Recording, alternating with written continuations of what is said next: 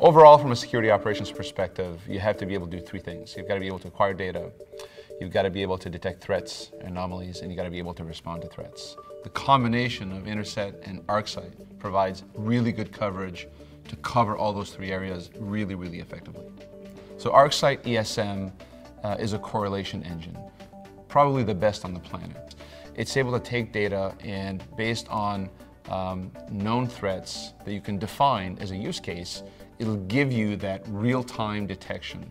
Like for example, finding a piece of uh, malware that's been propagated inside the network, it's able to very quickly identify where it's been propagated and arm security operations with the tools to respond, quarantine, do whatever they got to do to get that done. It does that in real time very, very well. That is its sweet spot. When you talk to customers, that's the capability they can't live without.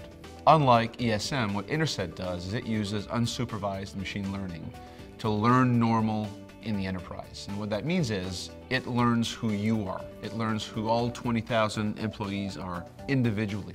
For example, it'll identify for each individual workstation what processes are running on each workstation, which becomes really important when you're looking for threats.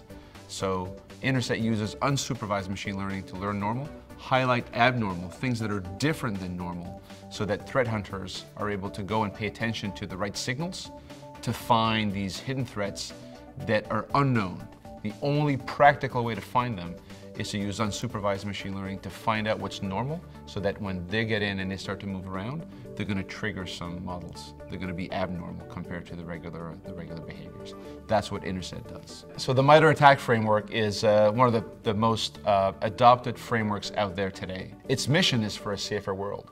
And so what it does is it focuses on identifying the behavior of a given threat vector instead of worrying about a specific indicator of compromise, like a malware. For us, it's fantastic because finding behaviors that are worthy of investigating is really hard for humans to do. Humans don't scale in that way, but machines scale really, really well that way.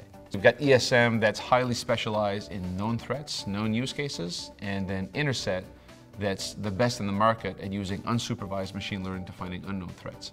So the combination is like a natural fit. As a, a, guiding principle, Interset has always believed in open APIs to integrate into any ecosystem.